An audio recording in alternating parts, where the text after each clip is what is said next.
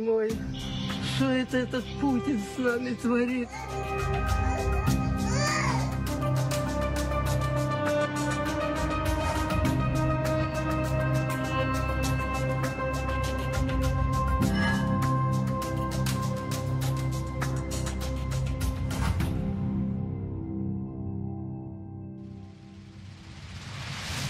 Jakub Maciejewski, telewizja w Polsce, PL program Ukraina w ogniu. Rosjanie od pół roku przegrywają, front nie przesuwa się po ich korzyści, pod Bachmutem gigantyczne straty, więc rozpoczynają tradycyjnie straszakiem atomowym sparaliżować naszą psychikę, psychikę rozwiniętych społeczeństw, e, którym Rosjanie mogą tylko e, pozazdrościć. Zobaczcie Państwo na własne oczy, co teraz mówi się w białoruskiej telewizji, między innymi o e, Warszawie. Oto program publicystyczny bardzo popularny, który myślę większość Białorusinów miała okazję już e, zobaczyć.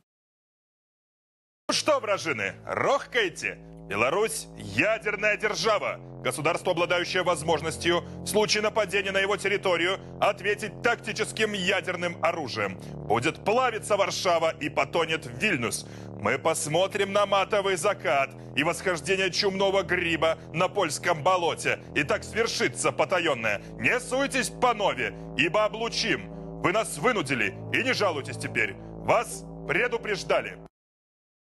Białorusini być może wierzą ci od Łukaszenki, że obejrzą sobie matowy zachód słońca i powstawanie ciemnego grzyba atomowego na polskim e, błocie. Tu chodzi o e, Warszawę, a tak stwierdził Grigori Azarienok, taki właśnie propagandysta białoruski. Nie ma jeszcze 30 lat, karierę zawdzięcza tatusiowi. Jurij Azarienok był też reżyserem, prezenterem telewizyjnym i tak sobie buńczucznie Białoruś zapowiada. Pajac oczywiście wyolbrzymia i miesza wszystko ze wszystkim. Nie Białoruś ma być państwem atomowym, nadal mogą sobie eksportować przede wszystkim ziemniaki, ale to Rosjanie chcą wkroczyć na Białoruś i tam postawić swoją broń nuklearną, o czym zresztą mówił w wywiadzie Władimir Putin. Что касается э, наших переговоров с э, Александром Григорьевичем Лукашенко, с э, Беларусью, э, это ну, просто поводом послужило, наверное, заявление замминистра обороны Великобритании, что они собираются поставлять э, снаряды на Украину с объединенным ураном. Но, э, ну, повторяю, это так или иначе связано с ядерными технологиями, это очевидная вещь. Но, но э, даже вне контекста вот этих событий, этого заявления, Александр Григорьевич Лукашенко давно ставит вопрос о том, чтобы разместить на территории Беларуси э, российское тактическое ядерное оружие. Tak, na pewno Łukaszenka boi się tego, że Brytyjczycy Ukrainie przekazują broń i prosi Putina, żeby ten wkroczył ze swoimi wojskami i tam zainstalował mu rosyjską broń atomową, na którą Łukaszenka nie będzie miał wpływu, a wraz z tymi głowicami, jeśli one w ogóle będą tam zainstalowane, przecież przyjdą rosyjskie wojska. I tu dochodzimy do jednej z prawdziwych intencji całego tego putinowskiego mm, podstępu, a mianowicie ogranicza to e, niezależność, niepodległość i suwerenność Białorusi. Jest to kolejny krok dominacji Rosji nad Białorusią. Jednak pamiętajmy, że wszystkie te agresywne działania Rosji i Białorusi e, są usprawiedliwiane tym, że to tak naprawdę oni się bronią przed nadchodzącym atakiem Zachodu, o czym już w początkach inwazji rosyjskiej na Ukrainę mówił Aleksandr Łukaszenka. А я сейчас вам покажу, откуда на Беларусь готовилось нападение. И если бы за 6 часов до операции не был нанесен превентивный удар по позициям, четыре позиции, я сейчас покажу, карту привез, Czyli cała ta inwazja była ocaleniem Białorusi i Rosji. Już Łukaszenka ma mapy, na których widnieje polska między innymi ofensywa. Wypowiedź była tak głupia, że w całym rosyjskojęzycznym świecie, włącznie z Białorusią, powstały liczne memy i fotomontaże wyszydzające tego Łukaszenkę, gadającego kompletne bzdury w takich oto kontekstach. А я сейчас вам покажу, откуда на Беларусь готовилось нападение. Я сейчас вам покажу, откуда на- Беларусь готовилось нападение. А я сейчас вам покажу, откуда на Беларусь готовилось нападение.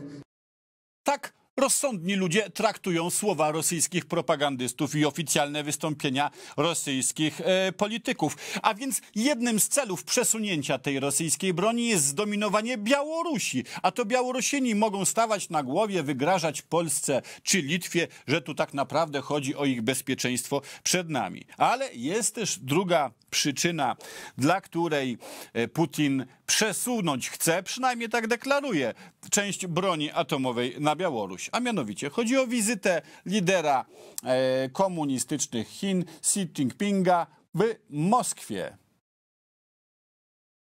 士们，俄罗斯联邦总统弗洛基米尔·弗洛基米尔·普京和中华人民共和国主席习近平会谈结束后，亲自稳定仪式现在开始。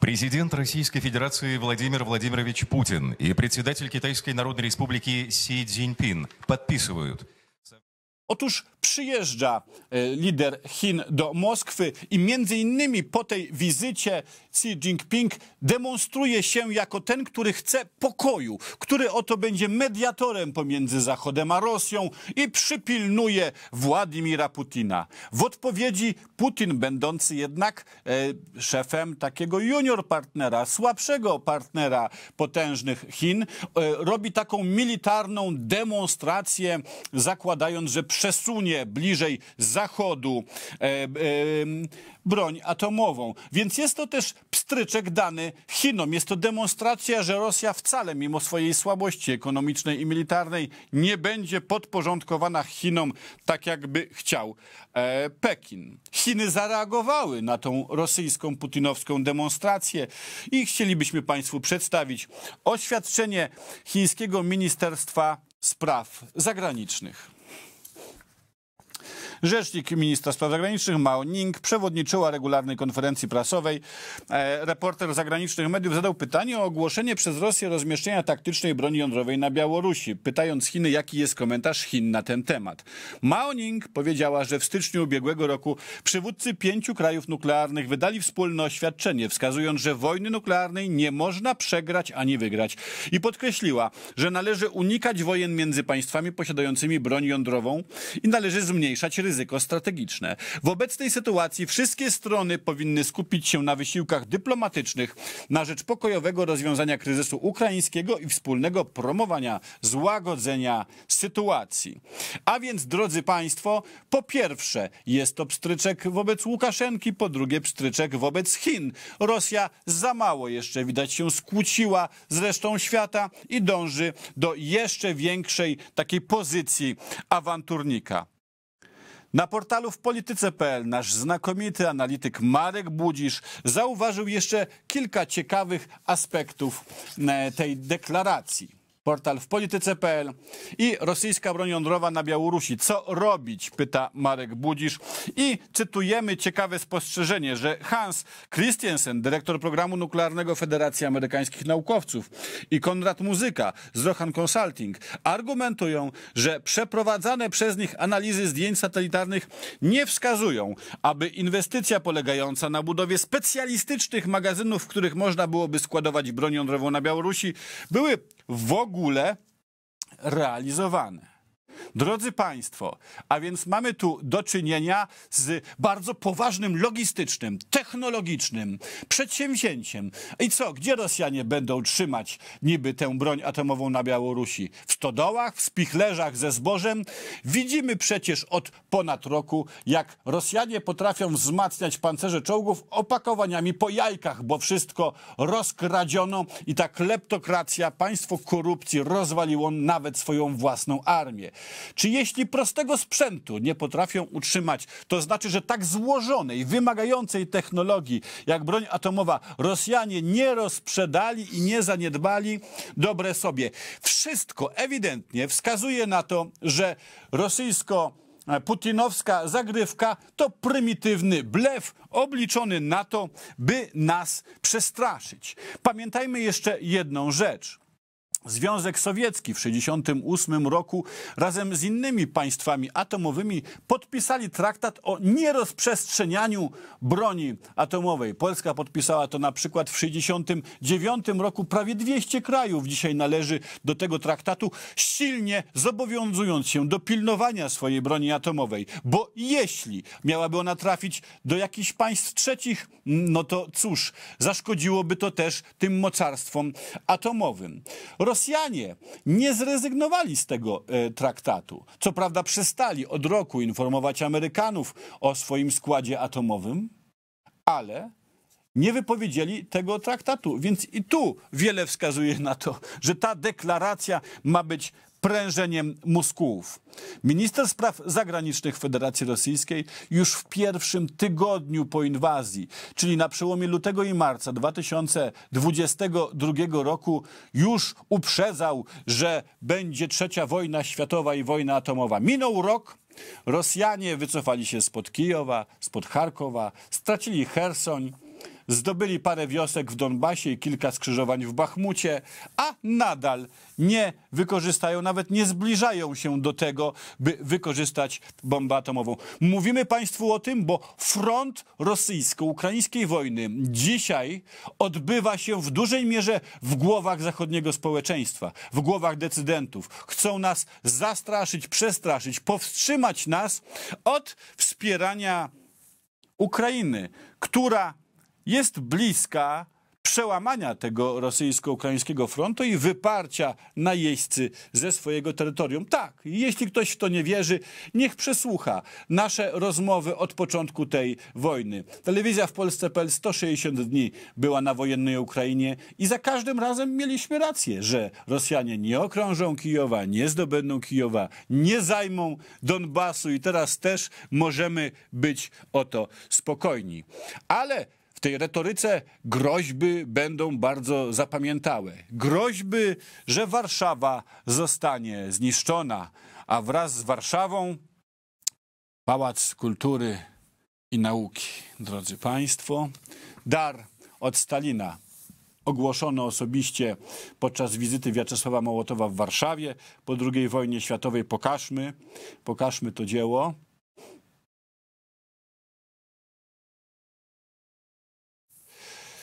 Centrum Warszawy od Rosjan prezent i drodzy Państwo, jeśli by jednak jakiś pijany Rosjanin chciał wystrzelić tę e, rakietę, no to e, może jakiś pożytek z tego e, wyczerpiemy. Niech pan e, Grigori Azerienok się tutaj dalej poekscytuje. I drodzy Państwo, specjalnie dla Rosjan podajemy koordynaty Pałacu Kultury. Rosjanie, Целящиеся в Варшаву, стрелайте по координатам. 52 13 54 север, 21 00 22 e, Wostok.